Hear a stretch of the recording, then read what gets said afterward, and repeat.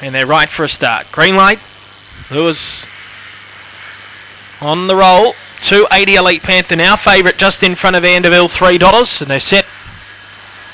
And they're off. And they both missed it there, Elite Panther and Vanderbilt, and spearing out from the outside, Rolled Mighty. It's looking for the lead. Kicking through, though, is Old Kirk, and it went to the front, so it's Old Kirk. Vanderbilt swept around them to second. Rolled Mighty third. They're followed then by Bally Motown, a gap environmentalist, Montera, Elite Panther, Snowhawk. The leader, Old Kirk. It's kicking well. Two names, Bally Motown, and Old Kirk all the way. Beat Bally Motown, third Vanderbilt, and fourth in Rolled Mighty. They're followed environmentalist, a gap Montera, Snowhawk, and Elite Panther last of all.